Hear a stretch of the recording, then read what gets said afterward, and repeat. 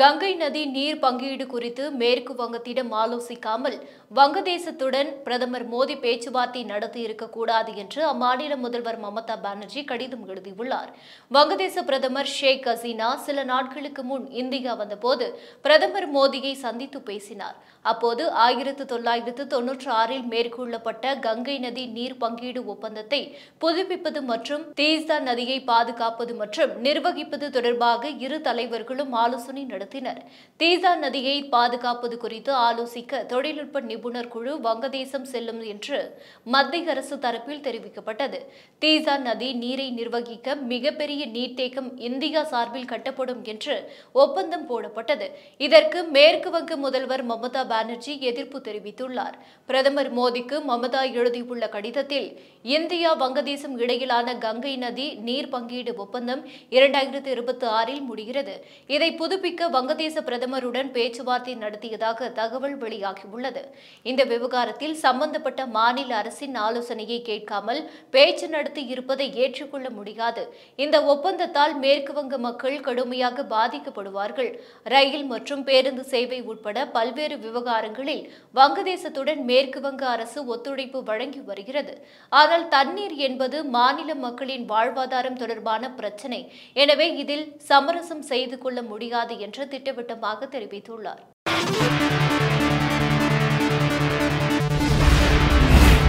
Emergency காலம் குறித்து Congress MP ராகுல் காந்தி முதல்வர் ஸ்டாலினுடன் பேச வேண்டும் என்று பாஜக தேசிய செய்தி தொடர்பாளர் சி ஆர் கேசவன் கூறியுள்ளார். ஆயிரத்து தொள்ளாயிரத்து எழுபத்தி ஐந்தாம் ஆண்டு ஜூன் இருபத்தி ஐந்தாம் தேதி இந்திரா காந்தியால் இந்தியாவில் அவசர நிலை அறிவிக்கப்பட்டது. அந்த நாளை கருப்பு நாளாக பல அரசியல் கட்சிகள் விமர்சித்து வருகின்றன. அது தொடர்பாக இன்று செய்தியாளர்களை சந்தித்த சி ஆர் கேசவன் எமர்ஜென்சி காலம் இந்திய வரலாற்றின் கருப்பு பக்கம். இன்றுதான் காங்கிரஸ் எம்பி ராகுல் காந்தி முதல்வர் ஸ்டாலினுடன் பேச வேண்டும். எமர்ஜென்சி காலத்தில் கடுமையாக பாதிக்கப்பட்டவர்களில் ஒருவர் ஸ்டாலின். ஸ்டாலின் எப்படி கொடுமைப்படுத்தப்பட்டார்? ஸ்டாலின் தந்தை தலைமையிலான திமுக ஆட்சி எப்படி காங்கிரசால் கலைக்கப்பட்டது என்பது குறித்து பேச வேண்டும். தேர்தல் பிரச்சாரத்தின் போது தனது சகோதரருக்கு ராகுல் காந்தி மைசூர் பார்க் கொடுத்தார். தமிழர்கள் மீது அன்பு இருப்பதாக கூறினார். ஆனால் கள்ளக்குறிச்சியில் பலர் கள்ளச்சாராயம் குடித்து பலியாகியிருக்கின்றனர். ராகுல் காந்தி ஏன் வாயை திறக்கவே இல்லை?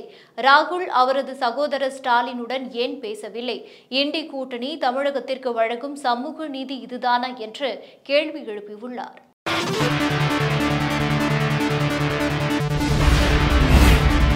திமுகவை ஒழிக்க அதிமுகவினர் பாமகவுக்கு வாக்களிக்க வேண்டும் என்று பாமக தலைவர் அன்புமணி வலியுறுத்தியுள்ளார். ஜூலை பத்தாம் தேதி விக்கிரவாண்டி சட்டமன்ற தொகுதியில் இடைத்தேர்தல் நடக்கவிருக்கிறது. இந்த தேர்தலில் பாமக சார்பில் சி. அன்புமணி போட்டியிடுகிறார்.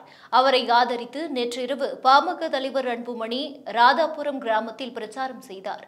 அப்போது பேசிய அவர் திமுக வேட்பாளர் வென்றால் அவர் குடும்பம் முன்னேறும். பாமக வேட்பாளர் வெற்றி பெற்றால் ஜாதிவாரி கணக்கெடுப்பு நடக்கும். அடுத்த மாதமே பத்து புள்ளி ஐந்து சதவீதம் உள் இடஒதுக்கீடு கொடுக்கப்படும்.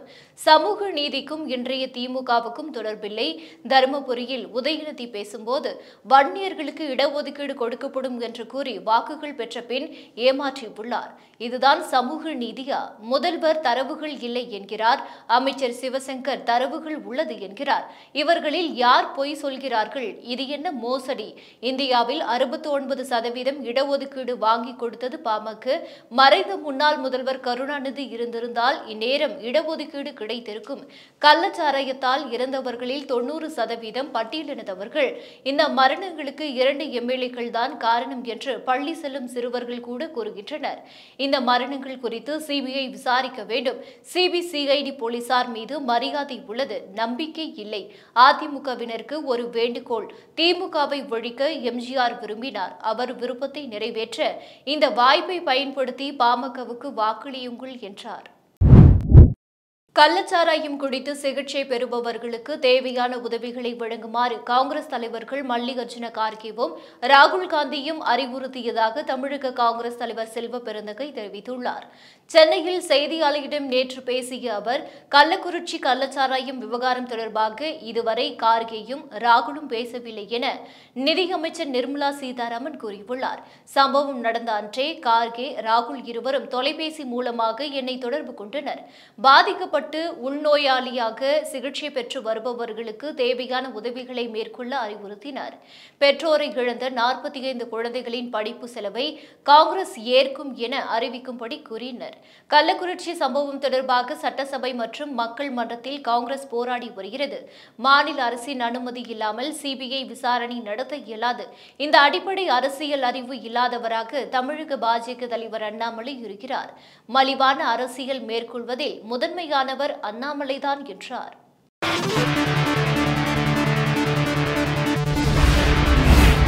சபாநாயகர் பதவி தொடர்பாக எதிர்க்கட்சிகள் வைத்த கோரிக்கை மக்களவையின் மரபிற்கு எதிரானது என்பதால் அதை ஏற்கவில்லை என்று மத்திய அமைச்சர் பியூஷ் கோயல் தெரிவித்துள்ளார். மக்களவை துணை சபாநாயகர் பதவியை எதிர்க்கட்சிகளுக்கு வழங்குவதுதான் மரபு என்று காங்கிரஸ் எம்பி ராகுல் காந்தி பேசியிருந்தார். இது குறித்து செய்தியாளர்களின் கேள்விக்கு பதிலளித்த மத்திய அமைச்சர் பியூஷ் கோயல் முதலில் துணை சபாநாயகர் பதவிக்கு வேட்பாளரை தேர்வு செய்த பிறகு சபாநாயகர் வேட்பாளருக்கு ஆதரவு தருவதாக எதிர்க்கட்சிகள் கூறின. இதற்கு நாங்கள் கண்டனம் தெரிவித்தோம். சபாநாயகர் என்பவர் ஆளுங்கட்சி மற்றும் எதிர்க்கட்சி என எந்த கட்சியும் சாராதவர். அவர் ஒட்டுமொத்த அவைக்குமானவர். அதேபோல் துணை சபாநாயகரும் எந்த கட்சியும் சார்ந்தவர் அல்ல. அவரும் ஒட்டுமொத்த அவைக்குமானவர். ஒருமித்த கருத்து அடிப்படையில் அவர்கள் தேர்வு செய்ய வேண்டும் என்று தெரிவித்துள்ளார். மேலும் குறிப்பிட்ட கட்சியை சேர்ந்தவர்தான் துணை சபாநாயகர் ஆக தேர்வு செய்யப்பட வேண்டும் என்பது மக்களவை பாரம்பரியத்திற்கு எதிரானது இண்டி கூட்டணியின் நிபந்தனைகள் மக்களவை மரபிற்கு எதிரானது என்பதால் அவற்றை ஏற்கவில்லை என்று பியூஷ் கோயல் தெரிவித்தார். பின்னர் மக்களவை சபாநாயகரை தேர்வு செய்வது தொடர்பாக எதிர்க்கட்சிகளுடன் நடந்த பேச்சுவார்த்தை குறித்த கேள்விக்கு பதிலளித்த பியூஷ் கோயல் காங்கிரஸ் தலைவர் கார்கேவுடன் ஆலோசனை நடத்த ராஜ்நாத் சிங் விரும்பினார். ஆனால் காங்கிரஸ் சார்பில் கே சி வேணுகோபால் பேசுவார் என்று கூறினார்கள். அதைத் தொடர்ந்து வேணுகோபால் மற்றும் டி ஆர் பாலு ஆகியோருடன் பேசினோம். அப்பொழுது அவர்கள் நிபந்தனைகளை நாங்கள் விதிப்போம். துணை சபாநாயகர் யார் என்பதை நாங்கள் முடிவு செய்வோம். பிறகுதான் சபாநாயகர் வேட்பாளருக்கு ஆதரவு தருவோம் என்று கூறினார். அதற்கு நாங்கள் கண்டனம் தெரிவித்தோம் என்று பியூஷ் கோயல் பதிலளித்தார்.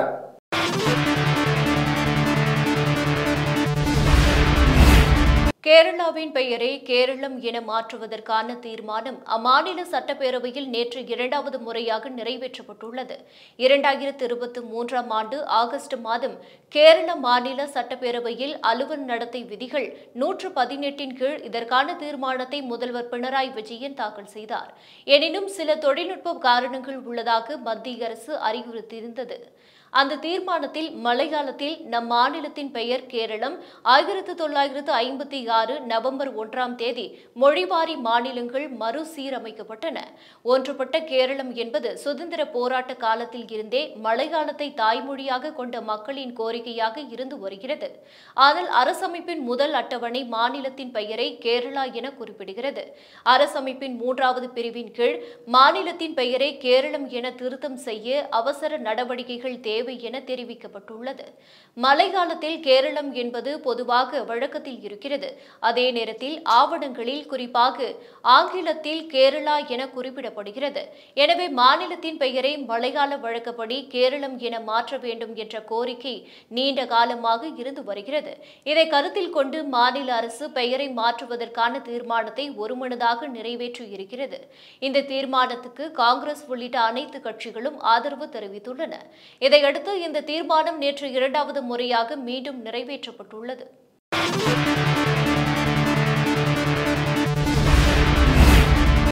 டி டுவெண்டி உலக கோப்பையில் முதல் முறையாக அரையிறுதிக்கு முன்னேறி ஆப்கானிஸ்தான் அணி சாதனை படைத்துள்ளது.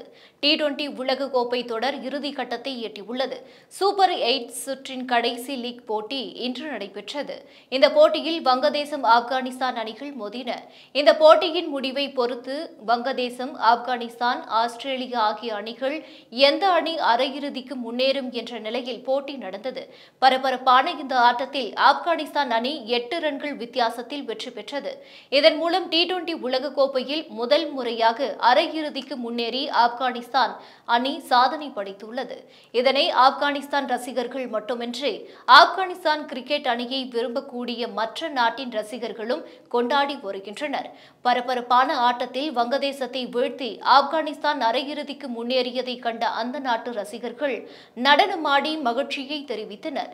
ஆப்கானிஸ்தானில் உள்ள நங்காகர் என்ற இடத்தில் தெரு முழுவதும் மக்கள் கூட்டம் அலை கடல் போல் திரண்டு வந்து இந்த வெற்றியை கொண்டாடி தீர்த்தனர். இது தொடர்பான வீடியோ சமூக வலைதளங்களில் வேகமாக பரவி வருகிறது.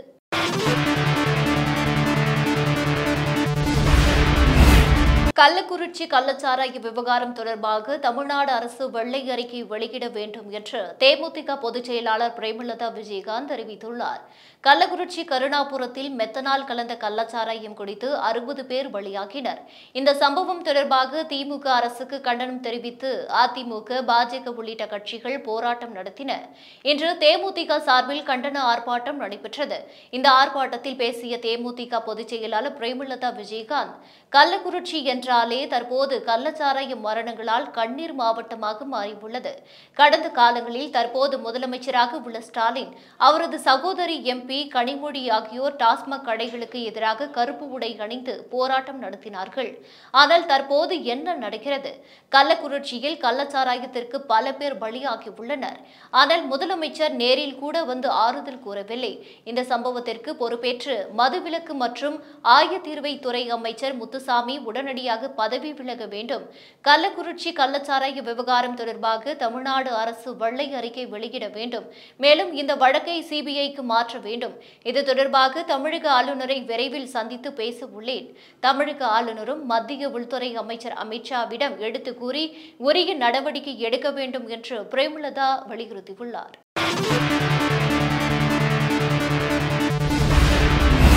தனது தவறுகளை மறைக்க பிரதமர் மோடி கடந்த காலத்தை பற்றி கூறுகிறார் என்று காங்கிரஸ் தலைவர் மல்லிகார்ஜுன கார்கே குற்றம் சாட்டியுள்ளார். கடந்த ஆயிரத்து தொள்ளாயிரத்து எழுபத்தி ஐந்தாம் ஆண்டு ஜூன் இருபத்தி ஐந்தாம் தேதி நாடு முழுவதும் எமர்ஜென்சி எனப்படும் அவசர நிலையை அன்றைய பிரதமர் இந்திரா காந்தி அமல்படுத்தினார். இதனால் அன்று எதிர்க்கட்சியில் இருந்த தலைவர்கள் சிறை வைக்கப்பட்டனர். இந்திய ஜனநாயக வரலாற்றில் இது ஒரு வேதனைக்குரிய சம்பவமாக பார்க்கப்படுகிறது. நாடு முழுவதும் அவசர நிலை அமல்படுத்தப்பட்ட ஜூன் இருபத்தி ஐந்தாம் தேதியை பல்வேறு அரசியல் கட்சி தலைவர்களும் நினைவு கூர்ந்துள்ளனர். அதேபோல பிரதமர் மோடியும் இந்த அவசர நிலை குறித்து பேசியிருந்தார். அதற்கு பதிலளிக்கும் வகையில் காங்கிரஸ் தலைவர் மல்லிகார்ஜுன கார்கே வெளியிட்டுள்ள அறிக்கையில் நாடு எதிர்காலத்தை நோக்கி காத்திருக்கிறது. ஆனால் மோடி கடந்த காலத்தை பற்றி கூறுகிறார். கடந்த ஆண்டு பாஜக ஆட்சியில் அறிவிக்கப்படாத எமர்ஜென்சியால் நூற்று நாற்பது கோடி இந்தியர்கள் பெரிய பாதிப்பை சந்தித்தனர். ஜனநாயகத்திற்கும் அரசமைப்புக்கும் அது ஆபத்தை ஏற்படுத்தியது என்று சாடியுள்ளார். மேலும் சாட்சிகளை உடைப்பது எதிர்க்கட்சி தலைவர்களை கைது செய்ய அமலாக்கத்துறை மற்றும் சிபிஐ போன்ற விசாரணை அமைப்புகளை பயன்படுத்துவது உள்ளிட்ட செயல்கள் அறிவிக்கப்படாத அவசர நிலை அல்லவா என்றும் நமது பதினைந்து கோடி விவசாய குடும்பங்கள் மீது மூன்று கருப்பு சட்டங்களை திணித்து அவர்கள் சொந்த நாட்டில் மாதக்கணக்கில் தெருவில் உட்கார வேண்டிய நிலைக்கு தள்ளியது வேதனைக்குரியது அல்லவா என்றும் கார்கே கேள்வி எழுப்பியுள்ளார். நாட்டில் அரசமைப்பையும் ஜனநாயகத்தையும் பாஜக சீர்குலைத்து விட்டது என்று விமர்சித்த கார்கே அரசமைப்புக்கு ஆதரவாக காங்கிரஸ் காங்கிரஸ் என்றுமே செயல்படும் என்று உறுதிபட தெரிவித்துள்ளார். மேலும் தனது தவறுகளை மறைக்கவே பிரதமர் மோடி கடந்த காலத்தை பற்றி கூறுகிறார் என்றும் காங்கிரஸ் தலைவர் மல்லிகார்ஜுன கார்கே குற்றம் சாட்டியுள்ளார்.